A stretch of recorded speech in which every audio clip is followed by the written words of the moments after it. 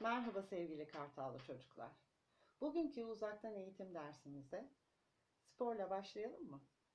Evet, öncelikle olduğumuz yerde dik durarak ellerimizle omuzlarımızdan tutup önce öne doğru sonra geriye hareket ettirerek ona kadar sayıyoruz. 1, 2, 3, 4, 5, 6, 7, 8, 9, 10.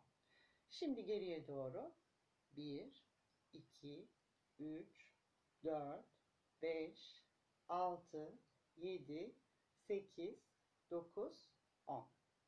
Evet ve rahatlıyoruz. Evet çocuklar, rahatlama hareketlerinden sonra sizinle biraz engeller haftası ile ilgili sohbet edelim.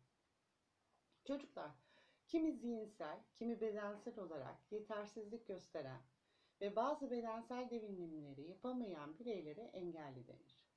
Engellilik kişilerin istemleri dışındadır.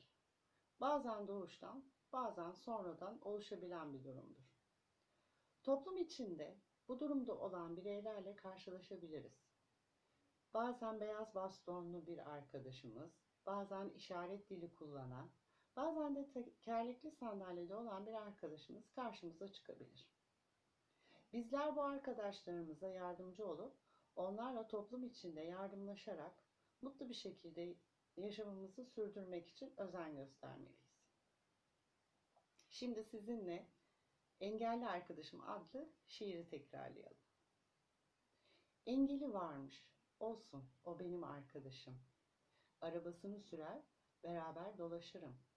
Kolay değil yaşamak, hele engelin varsa. İsterim ki dünyada herkes sağlıklı olsa. Ve şimdi de sırada haftanın bilmecesi var. Ben giderim, o gider, yanımda tintin eder. Evet çocuklar, siz bilmecenin cevabını düşünürken bir sonraki videomuzda görüşünceye kadar hoşça kalın, evde kalın, sevgiyle kalın.